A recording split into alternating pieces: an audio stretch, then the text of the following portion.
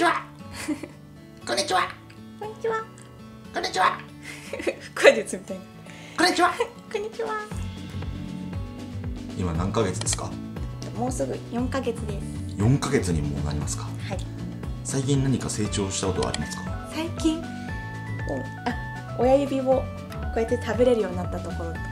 ああ親指食べてるね親指そう今までこう手を全体を食べてたけど指をキュッて出してね食べれるようになった。お偉い。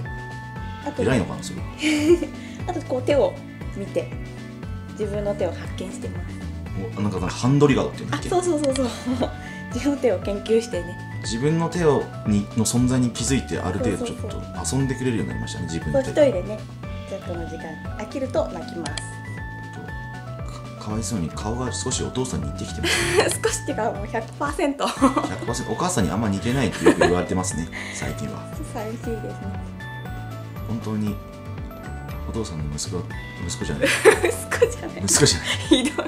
娘だって。息子っぽいからさ顔が。男みたいだけどね。そう顔がっていうか髪型があれだけど。髪型もお父さん譲りっていう。そうそうそうそう。なんか男の子っぽいんでまだ。まあ娘なんですけどね。そうですね見てるいや全然見てない。少しでも興味持ってくれればいいんだけどカメラにね。ねそうだね。あ見てる見てる。こんにちは。本当は。お今いいんじゃない？以上近況報告でした。さあ本日はですね皆さんオーバーロードという作品はご存知でしょうか？オーバーロードっていう、まあ、あの小説もともと小説があってで漫画になってでアニメもう今なんか3期ぐらいやってるっていうなんかすごい人気の作品なんですがこのオーバーロードの、アプリが、えー存在しましてオーバーロード Mass for the Dead というね、えこちらのアプリを今日はゲームをご紹介していきたいなと思っております。アニメ3期までやってるんですよ。すげえ人気のコンテンツで、どういうストーリーなのかっていうとそのあるゲームがサービスの終了を迎えてでそのゲーム内で活躍したね主人公が主人公さんモモンガさんって言うんですけど静かにそのサービスの終了を迎えようとしてるんですけれどもそのサービス終了時刻になっても強制ログアウトが起こりませんと。なんとモモンガさんは自分自身がそのゲームのキャラクターになっていることに気づいたのであった。てんてんてん。みたいなストーリーになっておりましてもう面白そうですよね。もう面白そう。ジャンルとしては異世界ファンタジー RPG っていうまああのジャンルになるらしくて。でこのゲームのストーリー自体がもうそもそもゲームオリジナルらしいんですよ。だからあの原作を知ってる人でも新たなる新しいストーリーとして楽しんでいただける、まあ、そんなゲームになっております。ということで早速ねこのゲームがどういうシステムになっているのかというのを説明しましょう。基本的には4人の、あのーキャラクターを、まあ、編成してえー、行く。戦っていくような感じになるわけですよ。で、えー、とパーティー。これが僕のパーティーですね。えー私のパーティーはですねまずえっ、とまずこちらのお姉様。お姉様と、え、それからそしてこちらのおっさん。それから、え上半身大怪我マンと、え絶対領域。この4人になっております。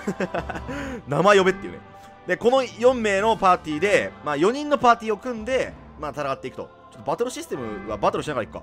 ちょストーリーかなんかちょっと進めていきましょうかね。今大体今2章ぐらいなんですけど結構ねこれね章のねこの1話1話がかなり結構あのボリュームあって楽しいです。この4人のパーティーね。4人のパーティーを組んで戦っていくっていう。でですね基本的にはコマンドバトル？あのーコマンドを選んで戦っていくバトルっていう感じになってましてまああの見ていただければ分かる通りこの左下の方にヒットポイントがあってでこれえっ、とね奥義ゲージその下にあの奥義ゲージ必殺技ゲージみたいなのがあってでここにスキル各キャラ固有のスキルがあってで戦う、えー貯める守るという感じ。だからこのコマンドを選んで戦っていくっていう感じになりますね。まあとりあえず、えー全員脳死で戦っていきましょう。まあこんな感じです。でなんか全員にまとめてあの指示出すときはこのアタックっていう。やっていただければ全員その通常攻撃みたいなのをしてくれるんで、まあ、こんな感じですね。でねやっぱり強いのはねこういうね集団攻撃敵全体にダメージを与えれるよっていうスキルも、まあ、こいつとかそうなんですよ。これとかもなんかあの多分ここれで一発で死ぬんですけど相手。これで。こんな感じで。だから単体攻撃よりもそのキャラクターのリセマラって感じじゃないですか。あれね全体攻撃を持ってるやつが多分強いです。これめっちゃ簡単なんですよ操作。最初の結構あのー敵が、まあ、弱いっていうのもあるんですけどちょっとね必殺技全部見せたいからちょっとためようか。全員ちょっとためて。大丈夫かな？これ一言持つかな？これためてたら。あんまたまんねえんだよな。そんなに簡単にたまる。やばい死ぬ。まずい。ちょっとあこうん全然たまんねえ。これキャラごとによってやっぱたまりやすいとかたまりにくいとかあるんですよね。よし。だんだん溜まってきた。ちょっとこいつだけ溜まってないけどでこのなんかぜ、えー上半身大怪我マンにちょっと奥義打ってもらいましょう。なんか攻撃っていう。でこいつがえーとねなんだこれ。読み方わかんねこれこれこれでしょ？でこれ。これさ浸透起爆症。それではここで死んでいた。のか本当決まっちゃあ小艇なんだ。なるほどね。そういうことね。ああいい強いね。全員あいいね。奥義使えんじゃん。敵全体に物理ダメージを与える。これ一発で死ぬでしょ。さあじゃあ満を持してね。このお姉さんのお姉さんのこれなんて言うんですか？悪悪魔の翼連ですかね。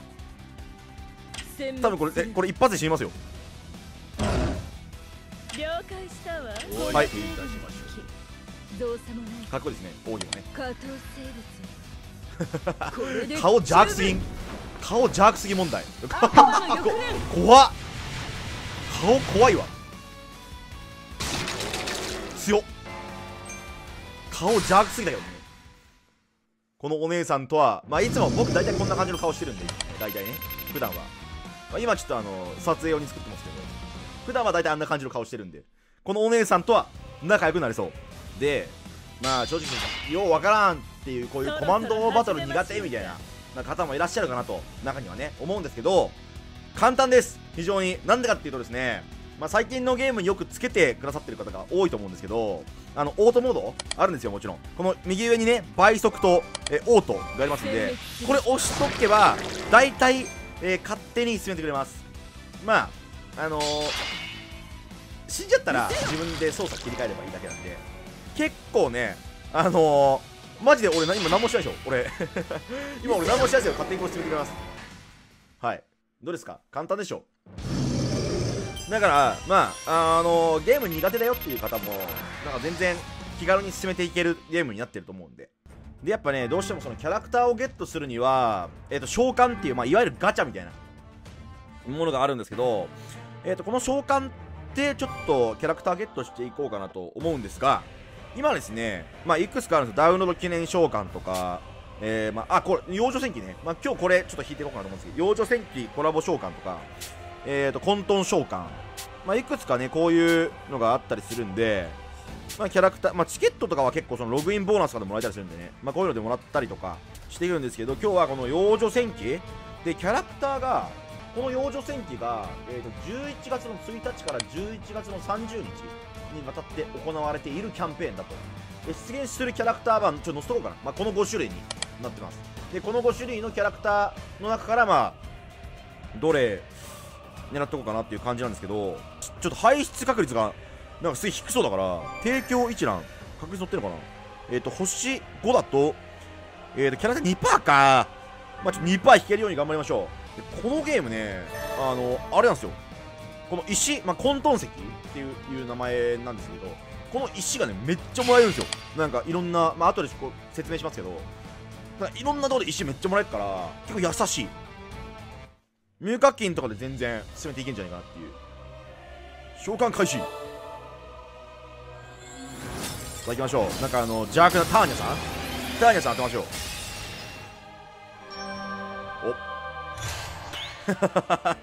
お お上半身大怪我マンじゃないですか先生お大ゲレベルあこの大ゲあのね大ゲレベルアップってなったらなんか持ってるやつ？持ってるやつはなんか2回目出るといわゆるそのえー、まあ限界突破じゃないけどなんかその奥義がレベルアップしますよみたいな感じになってるんでまあ2回2体目3体目出てもまあ強くなるんでいいかなっていう。これ持ってるやつですね。ビクトーリア・セレブレコーフ少尉参謀本部の指名により副官として着任いたしました。いい子しますね。いい子しますね星星5は出ないからさすがに2%だからね。2%はなかなかやで。あこれ異物？まあこれこれがアニメとかのワンシーンを切り取ってなんかその装備するまあアイテムというかねになってる。もんですわ。ベータス。どうかこの仮面？でじゃなくてヤルダバート様ともお揃いなんすよ。いやまああのべ仮面は取ってほしいんだけどね。どんな顔してるのかちょっと気になるからまあ星4だとこの後ろが黄色になるんですかね。金色の演出みたいな、えー星5は出なかったということでちょっともう一回ぐらいやってみましょうか。なんだかんだねこの石結構溜まるんですよ。結構溜まる。だからあのまあやり続ければ全然なんか気づいたら溜まってる感じなんで。えマジ？えこれ終わりそう？終わりそう？ちょなんか出ろって。おいふざけんなよ。終わったんだが。やっぱ相変わらずね、えー私の引きは弱いですが、えー皆さんはあーぜひね。まあしっかりと星5を出していただきたい。2%なんでね。もう出ないんですよ。なかなかそう簡単には。たださっきも言ったように石は溜まりやすいです。でキャラクターの強化ももちろんできて。えーとねここかな。まあちょっと今こいつが一番、まあ、この辺のあのそのおっさんとお姉さんがあのレア度高いんでこいつ強化していこうかなと思うんですけどまあこのなんかアイテムみたいなのがあるこれこれをこの3つねこの3種類これを使って強化していくと。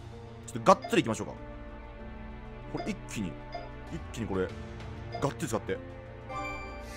こんな感じでね。これキャラクターをこうどんどんどんどん強化していって結局やっぱレベルが、まあ、攻略の鍵になってくるんでどんどんどんどんレベル上げてで限界突破してみたいなことを、まあ、繰り返していくゲームになりますね。でですねえー、と皆さんにお伝えしたいこのゲーム、まあ、やり始めて、まあ、結構面白いんですけど、えー毎日やること毎日やるべきことこれお伝えしたいなと思います。何やったらいいかちょっと最初分かんないと思うんですよ。まずですね、えーやるべきことはですねデイリーミッション。デイリーミッションを毎日やりましょう。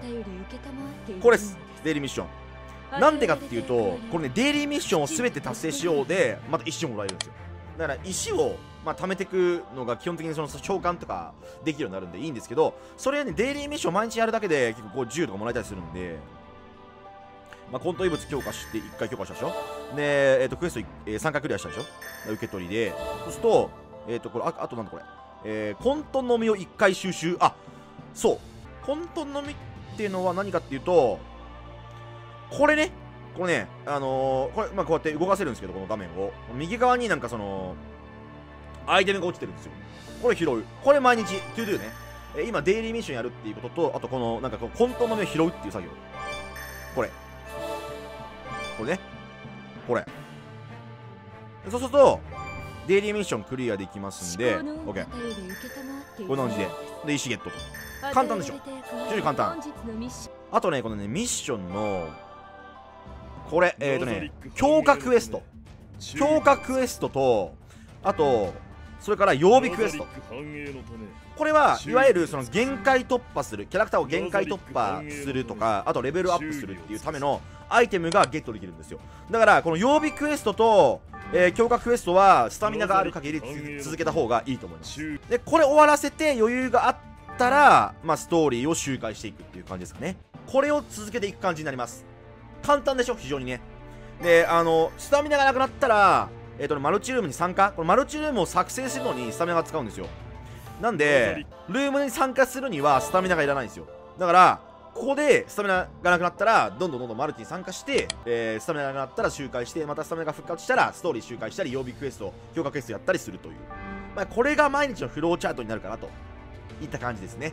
ということでいかがでしたでしょうか？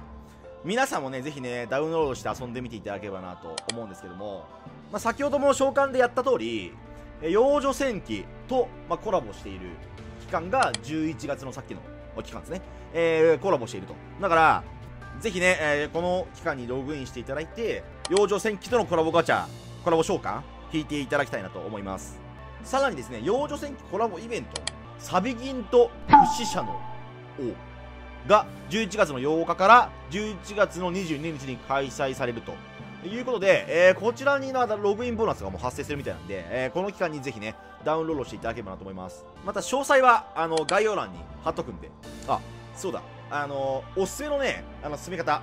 これねアニメ見ながらあのオートでこれオートでやっとくとなんか結構ね効率いいと思います。俺最近それでやってた。あのアニメ見ながらオートレイこのゲーム進めるっていうなんかすげえなんか賢者みたいな進め方してなんでもしよかったら皆さんもね、えーその方法を試してみていただければなと思います。それではまた次の動画でお会いしましょう。バイバイ。